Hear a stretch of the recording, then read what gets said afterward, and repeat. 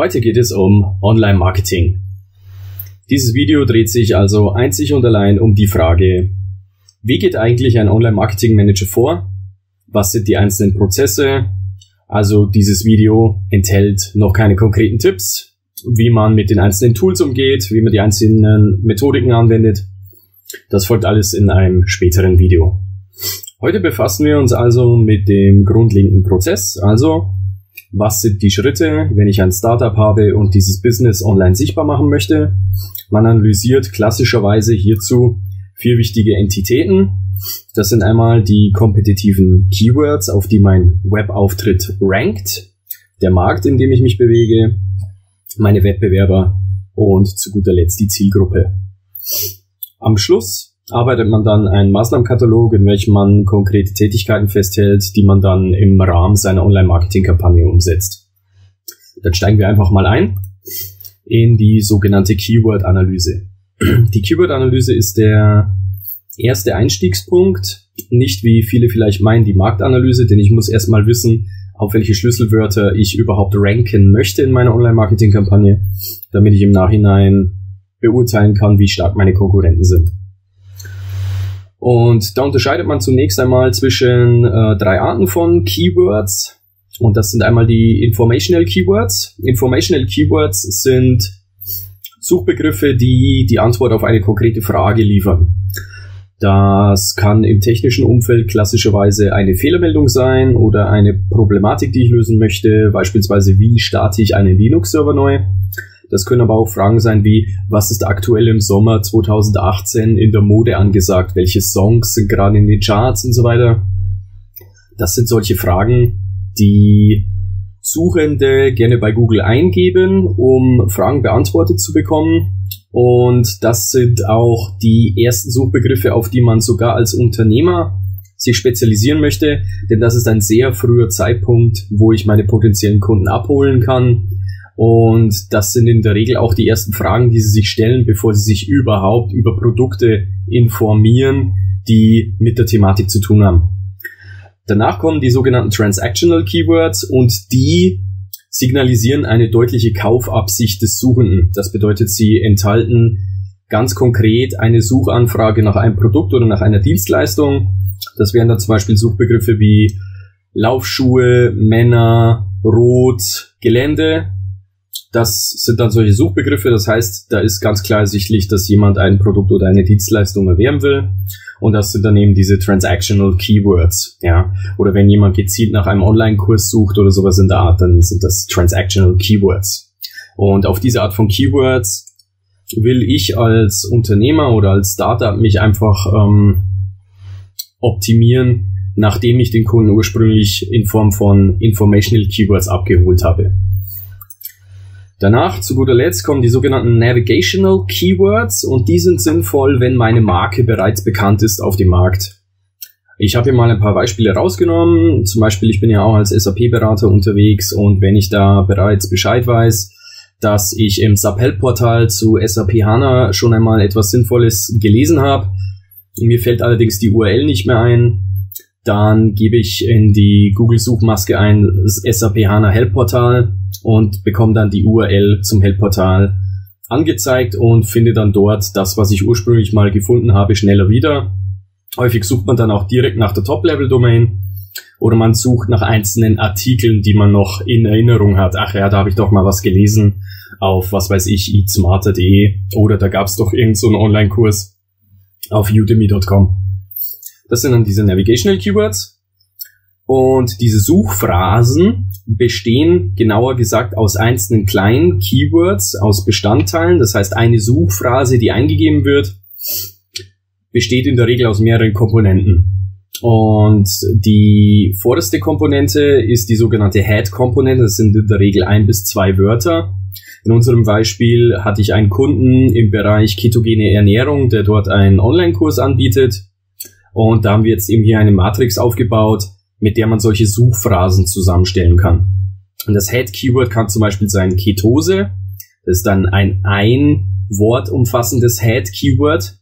Es kann aber auch so etwas sein wie Low Carb. Im Rahmen meiner Keyword-Analyse habe ich damals festgestellt, dass sehr viele Suchende, die auf ketogene Ernährung stoßen, ursprünglich über ihre Suche nach Low Carb oder No Carb Diäten, Kohlenhydratarmen Diäten auf dieses Thema kommen. Und daher ist zum Beispiel in dem Bereich auch Low Carb ein sehr wichtiges Head Keyword. Dann gibt es Body Keywords, das sind dann sozusagen die Unterkategorie. Das bedeutet, ich suche nicht mehr nach Laufschuhen, sondern ich suche nach Laufschuhen für Männer. Oder ich suche nicht mehr nach SAP HANA, sondern ich suche nach SAP HANA Administration. Und zu guter Letzt kommen die Longtail Keywords. Das ist dann zum Beispiel, wenn ich ähm, zu SAP HANA Administration gezielt eine PDF-Datei suche. Und wie ihr seht, gelingt es hier in der Matrix jetzt mit den meisten Wörtern sinnvolle Suchphrasen zu bilden. Bei einigen macht es keinen Sinn. Und ihr werdet auch merken, dass einige der Keywords orthografisch einfach nicht ganz korrekt sind, ja, ketonisch zum Beispiel. Aber das sind halt nun mal solche Keywords, die die Suchenden letztendlich in die, ähm, in die Suchzeile eingeben. Das bedeutet, das sind im Endeffekt Wörter, die tatsächlich gesucht werden, auch wenn sie jetzt nicht unbedingt mit dem Duden vereinbar sind. Gut, wenn ich meine Keywords analysiert habe, also weiß, auf welche ähm, Suchphrasen meine Wettbewerber sich optimieren, dann wird es Zeit für mich, den Markt zu analysieren. Und da beginne ich in der Regel mit der Marktgröße. Das bedeutet, der Investierende, das Startup will ja wissen, ob es sich lohnt, in einen bestimmten Markt zu investieren. Das bedeutet, man will wissen, wie viele kaufwillige Interessenten gibt es denn da? Wie viele Interessenten gibt es überhaupt? Und da analysiert man in der Regel mehrere Quellen. Ja, die klassische Quelle ist so die Google ähm, Suchmaschine und heutzutage gibt es mehrere Kanäle, die man heut, die man dazu analysiert, unter anderem Social Media wie Facebook, Instagram, aber auch Videoportale wie YouTube und Vimeo. Vimeo vor allem im professionellen und künstlerischen Bereich. Wenn der Kunde oder das Startup darüber nachdenkt, beispielsweise einen Podcast zu vermarkten, wären auf einmal Kanäle wie Spotify interessant. Und beim Shopping natürlich Amazon und auch lokale Online-Shops und bei, in meinem konkreten Fall ging es eben um einen Online-Kurs. Das heißt, ich habe mir auch die Marktgröße auf Online-Educational-Plattformen wie Udemy, Teachable und Coursera angeguckt. Und das Suchvolumen und das Anfragevolumen auf all diesen Plattformen zusammen bestimmt die Marktgröße für diese Thematik. Und in so einem Markt gibt es klassischerweise zunächst einmal Marktchancen. Das ist einmal der Anteil zahlungswilliger Marktteilnehmer. Das bedeutet, mich interessieren hier vor allem die Transactional Keywords. Denn nicht alle Suchenden, die sich für ein Thema interessieren und in, im Laufe eines Monats Suchanfragen stellen, sind unbedingt dazu bereit, ja, Produkte oder Dienstleistungen in diesem Sektor zu erwerben. Ja, nur weil ich mich mit ketogener Ernährung auseinandersetze, heißt das noch lange nicht, dass ich dazu bereit bin, für einen Online-Kurs oder ein E-Book Geld auszugeben. Das bedeutet, mich interessiert der Anteil der Interessenten, die wirklich ganz konkret nach Produkten suchen. Das soll nicht heißen, dass es nicht äh, möglich ist, auch Suchende davon zu überzeugen, ein Produkt zu kaufen, obwohl sie es nicht explizit suchen. Aber dieser erste Indikator, wie viele denn gezielt nach Transactional Keywords suchen, ist ein wichtiger Indikator dafür, wie hoch meine Konvertierungszahlen in diesem Segment sein werden. Dann interessieren mich ähm, der Wettbewerb in den Listings. Eine oft genutzte Metrik hierzu ist die Cost per Click. Das bedeutet, wie viel Geld muss ich bieten oder investieren, um ja, bevorzugt von einem Anbieter wie Google auf einer bestimmten Position gelistet zu werden. Je härter der Wettbewerb, desto mehr Geld muss ich in die Hand nehmen. Wie hart muss ich also kämpfen, um mir Gehör zu verschaffen? Es müssen aber nicht immer Dollars sein, die ich in die Hand nehmen muss. Manchmal ist es auch einfach nur Zeit, weil ich einfach weiß, dass meine Wettbewerber sehr gut platziert sind, sehr gute organische Suchtreffer haben und dann will ich einfach wissen, wie viel ich da investieren muss, damit ich da auch gut ranke in dem Bereich. Dann interessieren mich die Artikel und die Preise, die derzeit auf dem Markt sind. Was können wir vor allem? Was kann ich als Startup, als Unternehmer besser als andere? Es geht dabei vor allem darum, Unique Selling Propositions zu finden. Das bedeutet Eigenschaften von meinem Produkt oder von meiner Dienstleistung, die einzigartig sind, um mich eventuell in Nischen platzieren zu können. Nischen haben eben den Vorteil, dass der Wettbewerb in der Regel nicht groß ist. Wenn ich in den breiten Markt eindringe, habe ich in der Regel einen hohen Wettbewerb, muss mich daher mehr anstrengen, um mich da durchzusetzen. Und in der Regel heißt, setzt man sich in einem etablierten Markt nur, nur durch, wenn man Neues zu bieten hat. Ganz konkretes Beispiel ist das Smartphone. Das war damals eine disruptive Technik. Ähm, es gab damals zu dieser Zeit fest etablierte Hersteller wie Nokia und Siemens und was weiß ich, Motorola, die in dem Bereich der Mobiltelefone etabliert waren. Und es ist ähm, Apple damals als Vorreiter nur gelungen, sich durch sich gegenüber diesen etablierten Marktteilnehmern durchzusetzen, indem man eben neue Unique Selling Propositions wie beispielsweise Apps und künstliche Intelligenzen bieten konnte.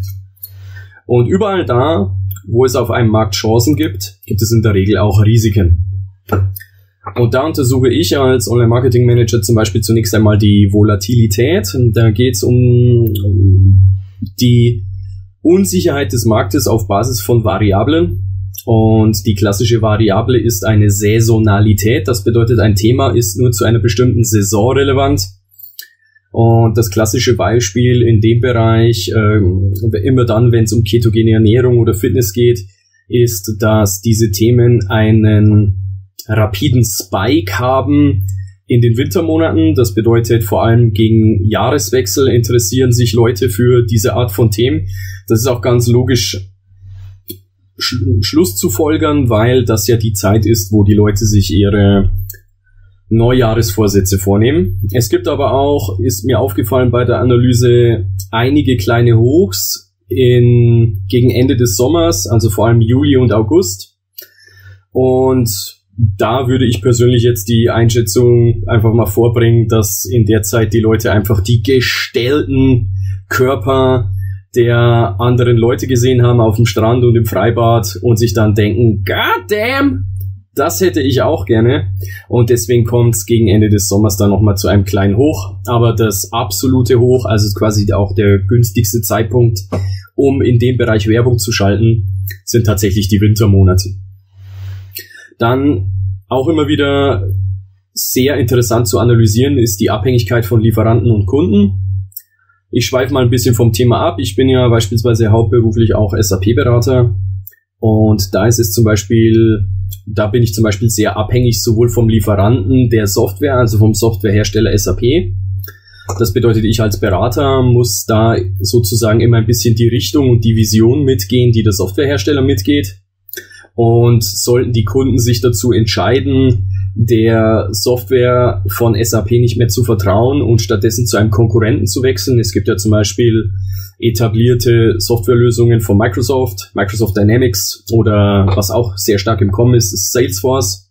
Das bedeutet, wenn diese Lösungen sich in meinem Bereich gegenüber SAP durchsetzen, dann habe ich, da stehe ich als Berater vor der Wahl, entweder stur zu bleiben und den Rest des Marktes zu bedienen, also die Kunden, die noch bei SAP bleiben, oder ich gehe mit dem Markt mit und orientiere mich ebenfalls um.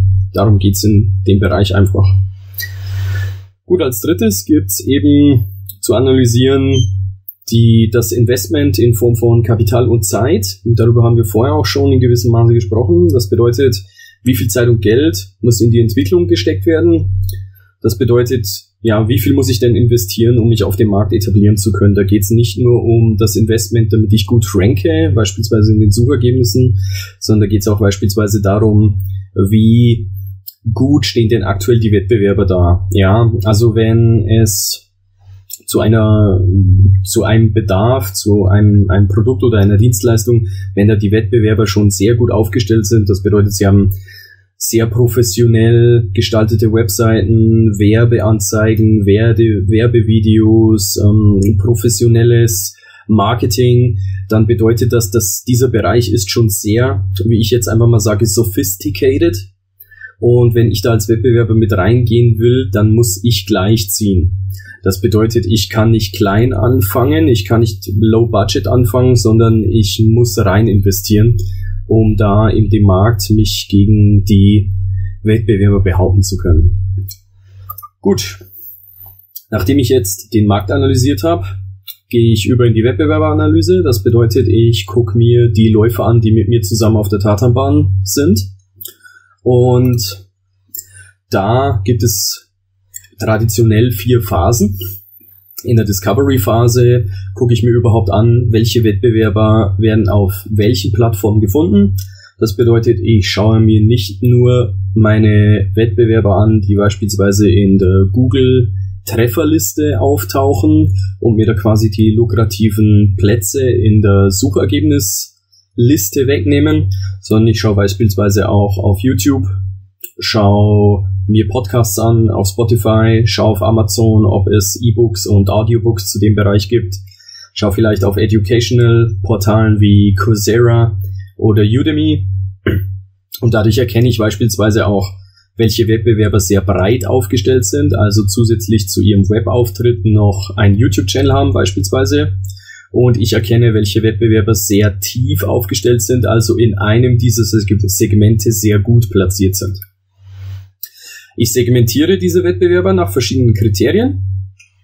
Das kann einmal die Plattform sein, auf welcher sie ja bevorzugt vertreten sind. Das kann aber auch eine Einteilung sein, nach dem Prinzip, ist es ein Wettbewerber, der mit mir um Informational Keywords konkurriert.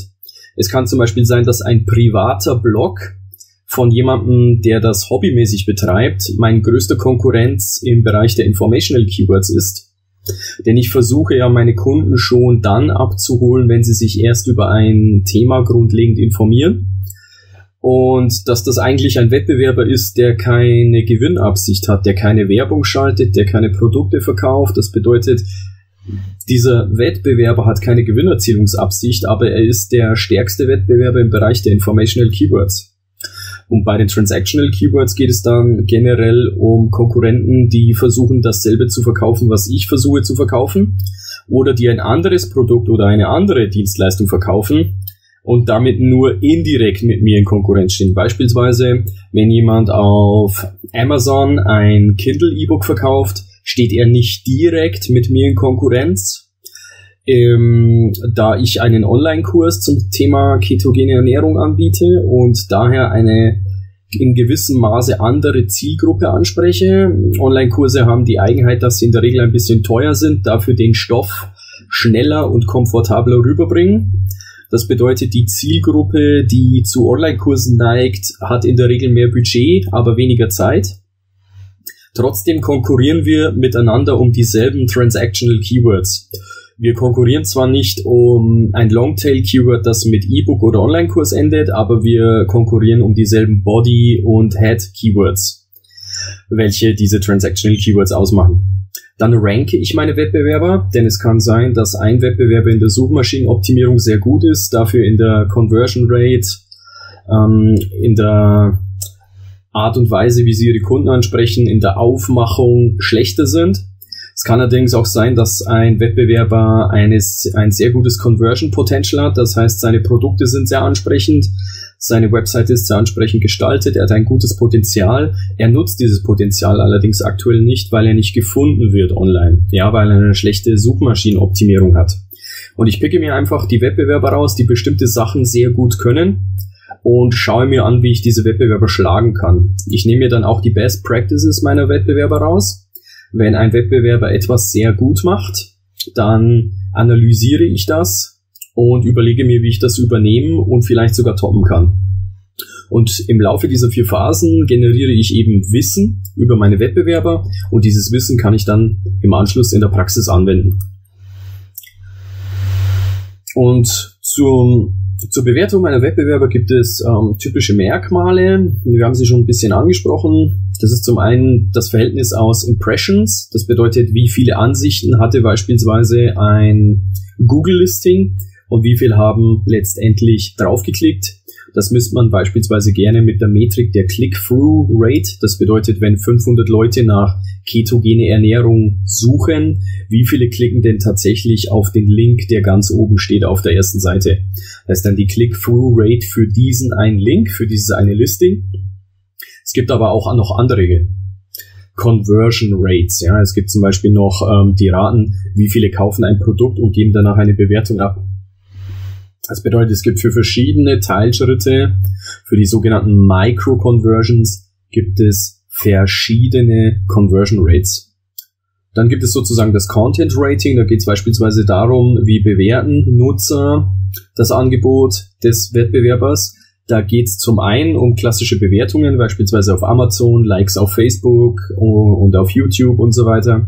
Es geht aber beispielsweise auch um die Bounce Rate. Das bedeutet, wie viele Besucher klicken auf ein Google-Suchergebnis, schauen sich die Seite an und verlassen die Seite innerhalb von einer halben Minute oder innerhalb einer Minute, bleiben also nicht lange auf der Seite. Das ist nämlich ein Indikator dafür oder eine hohe Bounce Rate ist allgemein ein Indikator dafür, dass eben dieses Angebot nicht sehr ansprechend ist. Das bedeutet, diese Seite liefert nicht das, wonach die Leute gesucht haben. Das Conversion Potential hingegen ist die Art und Weise, wie das Angebot des Wettbewerbers gestaltet ist. Ja, ein gutes Conversion Potential muss nicht heißen, dass ein Wettbewerber eine gute Conversion Rate hat, weil gehen wir mal davon aus, ein Wettbewerber hat ein wirklich gutes Produkt und präsentiert dieses Produkt auch sehr ansprechend. Er wird aber sehr selten gefunden oder von den falschen Leuten gefunden. Das heißt, er wird, er ist auf die falschen Keywords optimiert. Er möchte, er hat beispielsweise eine Website gebaut, auf der er ein Produkt bewirbt und optimiert sich aber mit diesem, mit genau diesen Landing Pages, mit diesen Seiten auf Informational Keywords. Was passiert im Endeffekt? Die Benutzer gehen auf die Seite in der Hoffnung, irgendeine Frage beantwortet zu bekommen, zum Beispiel nehmen wir mal, nehmen wir mal was anderes, bleiben, gehen wir mal in das Thema Schmuck. Was ist der Unterschied zwischen Platin und Gold, was ist besser für einen Hochzeitsring oder Trauring? Und sie wollen diese Frage beantwortet haben und was sie finden, sind ganz konkrete Angebotsseiten in einem Online-Shop, wo es einfach nur darum geht, die Artikel in den Warenkorb zu schieben. Ähm, diese Besucher werden dann gleich wieder gehen obwohl die Seite an sich sehr gut gestaltet ist. Das heißt, das Conversion Potential sagt einfach nur, wie hoch ist denn das Potenzial, dass wenn jemand das Angebot betrachtet, der auch wirklich am Kauf interessiert ist, dass der das dann, dass der diese Tätigkeit dann auch durchführt. Dann geht es um die Social Signals. Und das sind zum einen zwar auch Bewertungen, wie beispielsweise ähm, Google My Business Eintrag, YouTube äh, Likes, Facebook Likes und so weiter, Amazon Bewertungen. Aber es ist auch zum Beispiel ähm, die Bounce Rate, und es sind andere Social Signals wie beispielsweise Backlinks. Das bedeutet, wie viele fremde Portale verlinken auf die Seite. Das heißt, wie viele Nutzer vertrauen dem Angebot und der Seite des Wettbewerbers und verlinken deshalb drauf. Das ist auch ein wichtiger Indikator, um einen Wettbewerber zu identifizieren. Und das letzte, das sind die Trends und die Vision. Das heißt, ich bewerte in gewissem Maße, wie aktuell ist denn der Wettbewerber, also wie ist denn die, die Vision des Wettbewerbers? Beispielsweise, wenn ich mir SEO-Agenturen anschaue, dann schaue ich mir an, wie gut sind die denn aufgestellt in Themen wie Voice Search Optimization.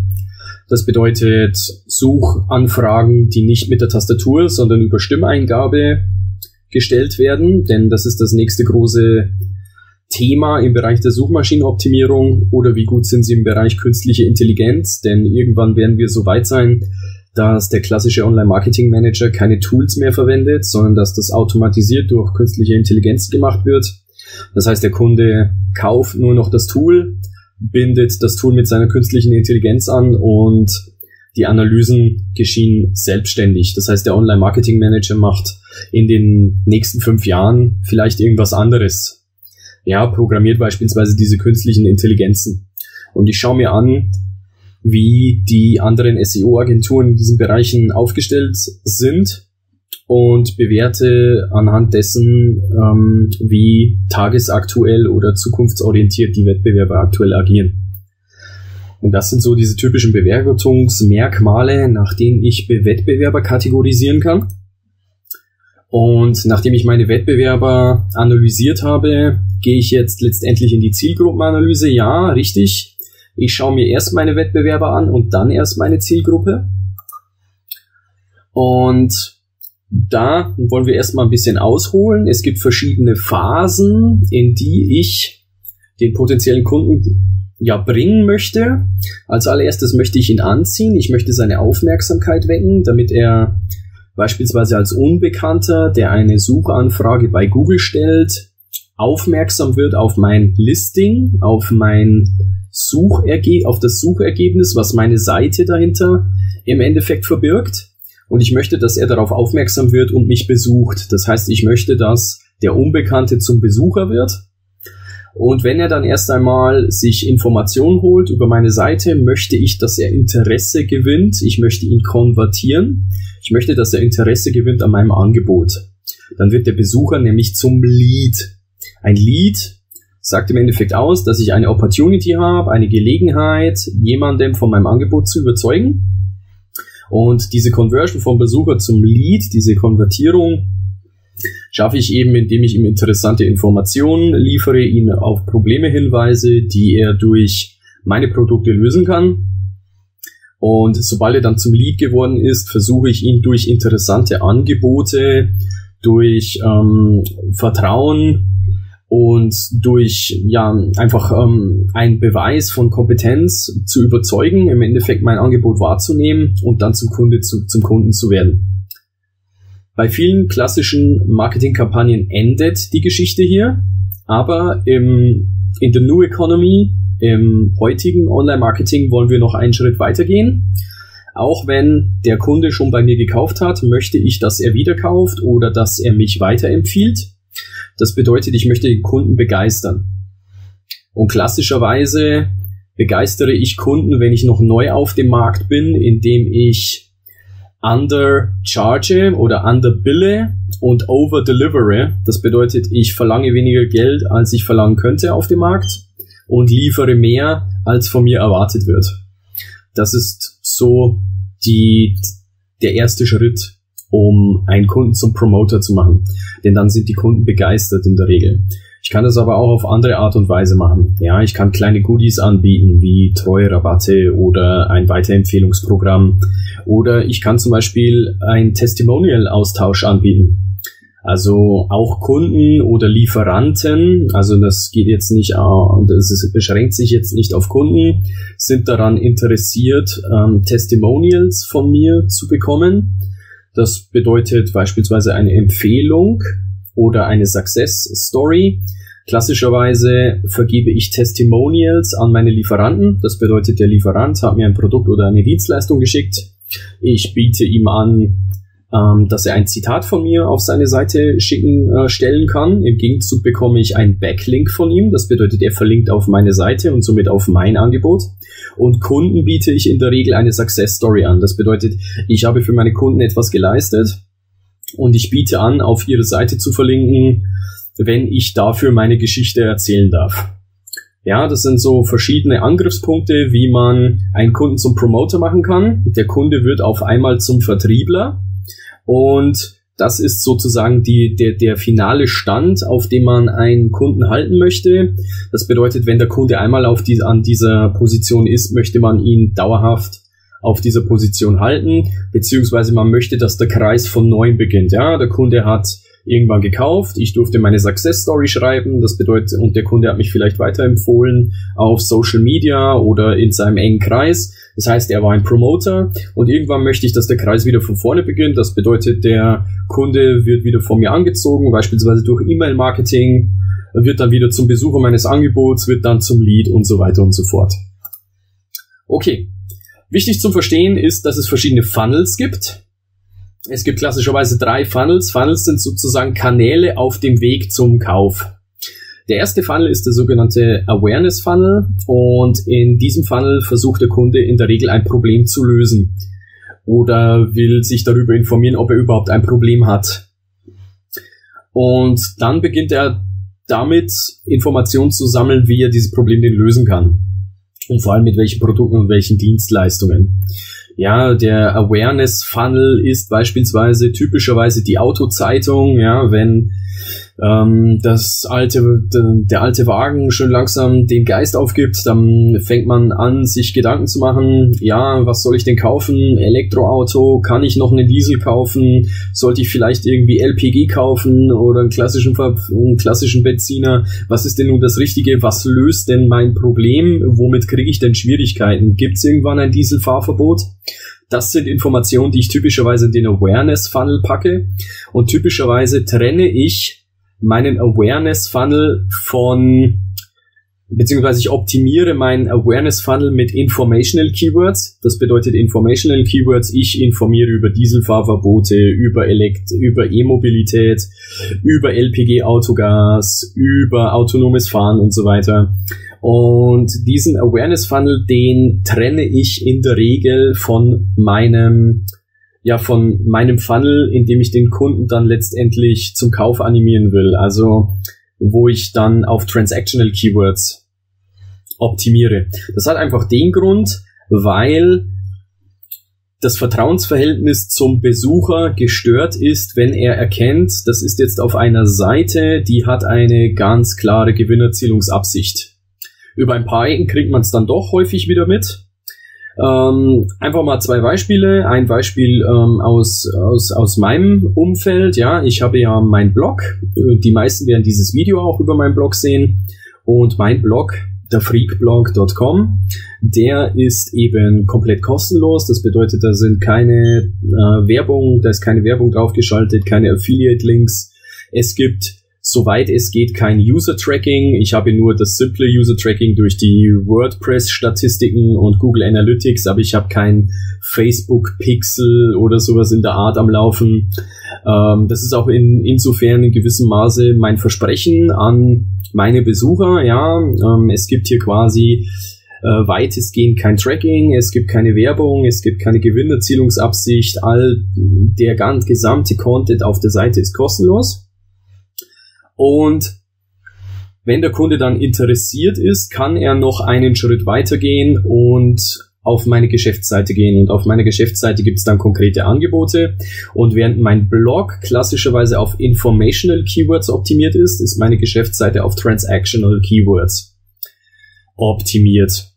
Und noch ein anderes Beispiel aus ähm, dem weiteren Umfeld. Es gibt zum, ja zum Beispiel den Hersteller Öltier, der dafür bekannt ist, Erdnüsse in gesalzene Erdnüsse in Dosen anzubieten. Und das ist mir in letzter Zeit aufgefallen, dass der Hersteller eine Marketingkampagne gestartet hat, wo es um die Webseite erdnüsse.de geht. Und da werden dann so Fragen beantwortet zu Erdnüssen, wie beispielsweise, warum sind Erdnüsse bei Bodybuildern sehr beliebt? Ähm, was tragen Erdnüsse zum Mineralienhaushalt bei und so weiter und so fort. Das ist der klassische Awareness Funnel.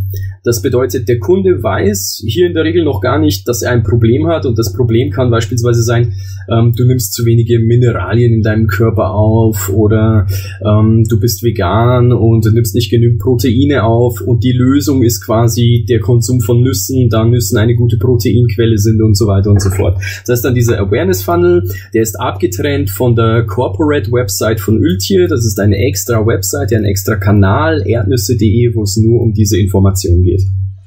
Im zweiten Funnel, im Consideration Funnel, da geht es dann darum, aus den verfügbaren Lösungen, aus den verfügbaren Produkten zu wählen. Das sind dann klassischerweise diese Testberichte, Reviews. Ja, da geht es dann darum, Autos zu vergleichen. Das bedeutet jetzt beispielsweise, wir gehen mal zurück auf das Beispiel mit den Fahrzeugen. Im Awareness Funnel hat sich der Besucher noch darüber informiert, was soll es denn jetzt werden? Soll es ein Diesel werden, Benziner, LPG Autogas oder ein Elektrofahrzeug? Dann hat er sich noch informiert, was will ich denn? Brauche ich ein Coupé, ein Kombi, Geländewagen und so weiter und so fort? Was ist denn aktuell im Trend? Und danach guckt er sich jetzt in dem Segment, was er im Awareness Funnel gefunden hat, beispielsweise sagen wir mal ähm, E-Mobilität, Elektrofahrzeuge und ähm, Sportwagen. Was gibt's denn da aktuell auf dem Markt? Und dann fängt er an zu vergleichen. Es ist dann dieser Consideration Funnel. Und In diesem Fall sind natürlich ähm, zum einen typischerweise solche ähm, Vergleichsportale, Stiftung Warentest, aber auch ähm, Reviews auf YouTube, Unboxing-Videos gehören auch in gewissem Maße dazu, aber auch die Unternehmen platzieren sich in diesem Funnel, indem sie sich beispielsweise direkt mit der Konkurrenz vergleichen. Das machen die nicht unbedingt immer gleich selbst, sondern vielleicht auch ein bisschen versteckt durch Influencer, die die Produkte zugunsten eines Unternehmens reviewen. Und in diesem Consideration Funnel ähm, werden die Kunden, die potenziellen Kunden erfahrungsgemäß sehr stark beeinflusst. Im letzten Funnel, im Purchase Funnel, da landet der Kunde dann im Endeffekt auf meiner Corporate Website, auf meiner Landing Page, wo er dann etwas erwerben kann, eine Dienstleistung oder ein Produkt von mir. Und da geht es dann nur noch darum, ihm alles zu liefern, was er braucht, um das Angebot anzunehmen. Das heißt, ich liefere ihm Preistabellen, ich fordere ihn zur Handlung auf, ich zeige ihm nochmal die Vorzüge, ich locke ihn mit Rabatten und so weiter und so fort das, und mache ihm den Bezahlvorgang möglichst einfach. Und das ist dann im Endeffekt der letzte Funnel, der Purchase Funnel. Gut, diese Funnels kann man auf verschiedene Art und Weise ansprechen. Und ich nehme jetzt einfach mal als Beispiel Nike, den Schuhhersteller. Und im ersten Funnel, im Awareness Funnel, wollen wir ein Problem erkennen. Und bei Nike, wenn man einen Nike-Stand auf einer Messe besucht und, oder etwas in der Art, dann geht es immer um Just Do It. Das bedeutet beispielsweise, man hat da diesen Messestand und man sieht da Athleten, das heißt, es werden irgendwelche Athleten gezeigt, gesponsert, die irgendetwas sehr gut können. Und ähm, die Mentalität ist, ähm, dein Problem ist, du bist noch nicht an deinem Ziel. Du willst irgendetwas erreichen und Nike kann dir dabei helfen. Ja, das ist ähm, sozusagen das Pro dein Problem ist, du bist noch nicht an deinem Ziel und willst da erst noch hin. Und es wäre jetzt aus meiner Sicht falsch, ähm, jetzt zu sagen, ähm, das typische Problem, das Nike anspricht, ist Übergewicht. Denn Nike ist eher ein Premium-Dienstleister, das heißt, da kommen wir später noch dazu. Nike richtet sich an fortgeschrittene Athleten, die noch besser werden wollen. Ja, aber es gibt natürlich auch viele ähm, Laufschuhhersteller, die dieses Problem ansprechen. Du bist unfit, das ist dein Problem du möchtest gerne fitter werden und Sport ist die Lösung dafür. Ja, der Awareness Funnel sagt quasi, Sport ist die Lösung für dein Problem. Ja, und das ist quasi die Erkenntnis. Ähm, jetzt informiert sich der Kunde vielleicht, welcher Sport ist denn der richtige für mich? Schwimmen, Basketball, Fußball, Laufen, Radfahren. Und das ist dann die Erkenntnis, die er aus dem Awareness äh, Funnel mitnimmt. Im nächsten Funnel geht es dann darum, die richtige Lösung zu finden. Das bedeutet, ähm, Nike geht dann her, Nike geht dann her und sagt, wir feiern großartige Athleten und begeisterungsfähige Sportarten. Und wir bieten jetzt beispielsweise Content übers Laufen. Das bedeutet, im Awareness Funnel, ein Funnel weiter oben, hat sich unsere Person dazu entschieden, ja, Laufen läuft für mich ganz gut. Ich habe da jetzt Erfahrung gesammelt, habe das drei Monate probiert oder was weiß ich, habe schon meinen ersten Marathon gelaufen und ich möchte das jetzt professionell machen. Und dann heißt es jetzt eben, wie schaffe ich es denn, noch mehr aus meiner Laufleistung rauszuholen? Und die Antwort ist beispielsweise ein passender Laufschuh. Und da liefert Nike an der Stelle in dem Funnel eben entsprechenden Content zum Laufen. Ja, also ähm, egal ob das jetzt Laufen ist oder Fahrradfahren oder Schwimmen, die Sportart, für die sich der potenzielle Kunde entscheidet, dafür wird Content angeboten und da kommt dann immer schon so ein bisschen rüber, ja, ein ordentlicher Laufschuh. Deine Konkurrenten sind gut ausgerüstet, deswegen musst du auch gut ausgerüstet sein, damit du mit ihnen ja, mithalten kannst, damit du mit ihnen in Wettbewerb treten kannst. Dafür brauchst du gute Ausrüstung. Und im Purchasing Funnel geht es dann letztendlich darum, ja, den Kunden dazu zu animieren, dass er, ja, dass er ein Nike-Schuh kauft. Und da wird dann eben vermittelt, egal für welche Sportart, wir bieten den passenden Schuh für professionelle Athleten und wir haben einen Premium-Anspruch gegenüber unseren Kunden. Also da spreche ich jetzt für Nike. Das bedeutet, wir bieten Schuhe für erfahrene Sportler, die professionell in den Wettbewerb gehen wollen. Ja, das ist zum Beispiel diese Mentalität, die da immer rüberkommen soll. Und da wollen wir jetzt mal ein kurzes Beispiel durchgehen. Wie verkettet man denn diese Funnels? Und da habe ich jetzt einfach mal ein äh, fiktives Beispiel genommen. Also das ist jetzt nicht ein YouTube-Video, welches ich in Verbindung mit meinem Kunden aus der ketogenen Ernährung ähm, erstellt oder analysiert habe, sondern ich habe den Titel jetzt rein zufällig gewählt. Ich habe gesagt, ich erstelle ein YouTube-Video mit dem Titel How to get lean through a diet that works. Das bedeutet, jemand hat das Problem, er ist übergewichtig, hat gesundheitliche Beschwerden und möchte das verbessern. Ja, und dann informiert er sich vielleicht erstmal über Ernährung. Ja, und in dem Video kommt dann rüber, hey, Übrigens, wenn du ja gesund gesund leben willst und so weiter, neben einer gesunden Ernährung kann auch Sport helfen. Und dann wird im Video oder in der Videobeschreibung wird auf eine WordPress-Seite verlinkt, wo es um ketogene Ernährung und aber auch vor allem um Sport geht. Und auf dieser WordPress-Seite wird zunächst so ein bisschen auf die ketogene Ernährung eingegangen, auf die Vorteile dieser Ernährungsform und dann der Synergieeffekt, dass es wunderbar mit Sport funktioniert. Und dann wird auf dieser Website wird eben ein Link platziert, beispielsweise auf einen Laufschuh, der auf Amazon angeboten wird. Oder eben auch, wenn wir bei ketogener Ernährung bleiben, dann wird da eben ein Online-Kurs oder ein E-Book über ketogene Ernährung angeboten. Ja, und so kann es im Endeffekt laufen. Und zu guter Letzt muss man noch ähm, neben den Funnels noch in, im Kopf behalten, dass sich verschiedene Wettbewerber auf verschiedene Kundensegmente konzentrieren. Man kann Kunden nach verschiedenen Segmenten einteilen, ob das jetzt beispielsweise das Lebensalter ist oder das Budget und die Kaufkraft oder die Erfahrung und der Anspruch.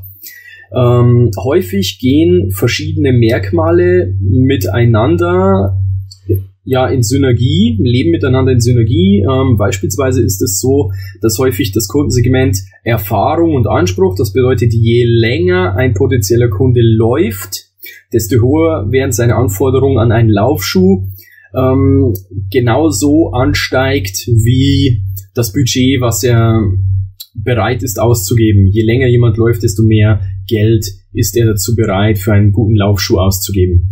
Es gibt aber auch Sachen, die unabhängig voneinander sind. Beispielsweise ist das Budget oder der Anspruch nicht unbedingt ins Verhältnis zu setzen mit dem Lebensalter. Ja, weil es un unterschiedliche Zeitpunkte gibt, wann die jeweiligen potenziellen Kunden mit dem Laufen beginnen. Ja, wenn jemand mit 18 Jahren anfängt, dann ist er in fünf Jahren eben 23 und hat ähm, einen erhöhten Anspruch. Und wenn jemand mit 70 anfängt, mein Gott, soll es auch geben, dann ist er 75 und hat diesen erhöhten Anspruch. Und jetzt gehen wir hier einfach mal hier dieses Beispiel durch. Ja, also ich habe hier einen Beginner, der hat das Problem, er möchte sportlicher werden und hat für sich entschieden, er möchte da deswegen mit dem Laufen beginnen. Und diese Art von Kunden möchte häufig schnell und günstig einsteigen. Das bedeutet, ich möchte einfach mal das für mich ausprobieren, möchte gucken, ob das das Richtige für mich ist und deswegen haben diese Art, dieses Kundensegment hat häufig wenig Budget und wenig Zeit. Das heißt, es möchte schnell, schnell anfangen und dafür möglichst wenig ausgeben. Und da ist es okay, wenn der Schuh nach drei Monaten wieder kaputt ist. Dann gibt's die Fortgeschrittenen. Die machen das Ganze schon länger, die wissen, dass sie Laufen längerfristig betreiben wollen und die haben beispielsweise kein Problem unbedingt in dem Sinne, dass sie jetzt unsportlich sind, ähm, sondern die haben ein Ziel. Das bedeutet, die wollen beispielsweise den ersten Marathon laufen. Ich will den ersten Marathon laufen unter, unter vier Stunden und unter fünf Stunden, was auch immer. Und dazu brauche ich einen ordentlichen Schuh fürs Training und dann später auch für den Lauf. Und da geht es dann meistens um ein gutes Preis-Leistungs-Verhältnis. Ähm, die, diese Läufer wollen jetzt in der Regel noch nicht so einen typischen ähm, Wettbewerbsläuferschuh, der 52 Euro kostet, sondern die wollen was, was lange hält, was das Training übersteht und äh, haben jetzt vielleicht so ein Budget von 150 Euro. Und dann gibt's eben die Experten, die wissen, hey, das mit dem Laufen, das läuft für mich so gut. Und ich bin jetzt schon, was weiß ich, ein Triathlon ähm, mit mitgelaufen und möchte das irgendwann professionell machen und ich habe hier schon ein Funktionsshirt, da sind schon zwei Logos drauf von irgendwelchen Sponsoren und ich möchte da noch besser werden.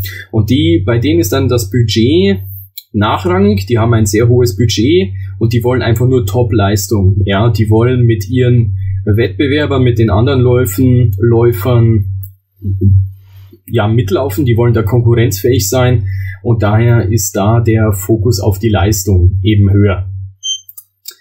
Gut, wenn ich dann meine Zielgruppe analysiert habe und die vier Entitäten, die vier wichtigen Entitäten analysiert habe, arbeite ich am Schluss einen Maßnahmenkatalog aus. Und da gilt es im ersten Schritt, sich Ziele zu setzen. In der Regel setzt man sich Grob- und Feinziele. Ein Grobziel ist zum Beispiel, ich möchte im ersten Jahr einen bestimmten Umsatz erzielen. Und damit ich diesen Umsatz erzielen kann, mein Grobziel erreichen kann, muss ich mehrere Feinziele erreichen. Und ein Pfeilziel kann beispielsweise sein, ich möchte, dass ein bestimmter Prozentsatz meiner Seitenbesucher meine Produkte kauft. Ich möchte, dass ein bestimmter Prozentsatz meiner Käufer mein Produkt eine positive Bewertung gibt. Ich möchte einen bestimmten Anteil an Suchaufrufen in Abhängigkeit von Suchanfragen auf dem ganzen Markt haben. Und das sind eben die Feinziele, die mich auf diese Grobziele hinführen. Und dann arbeitet man im Endeffekt Maßnahmen aus. Ich habe jetzt mal ein kleines beispielhaftes Pamphlet erstellt aus möglichen Maßnahmen, die dann in der Regel im Rahmen einer Online-Marketing-Kampagne umgesetzt werden. Und diese Maßnahmen im Detail werden wir eben später in Form von anderen Videos nochmal genauer durchleuchten. Und das hier sind eben einfach mal nur Beispiele. Man erstellt also eine Online-Strategie, eine Marketingkampagne und man macht sich Gedanken, wie komme ich denn jetzt ganz konkret an meine Ziele ran. Gut, das war's in dieser kurzen Übersicht zu diesem Thema und über die Detailstrategien werden wir uns in künftigen Videos unterhalten. Wenn euch diese kurze Übersicht gefallen hat, gebt mir vielleicht einen Daumen hoch oder ein Feedback. Wenn es euch nicht gefallen hat, und dann sehen wir uns einfach beim nächsten Video.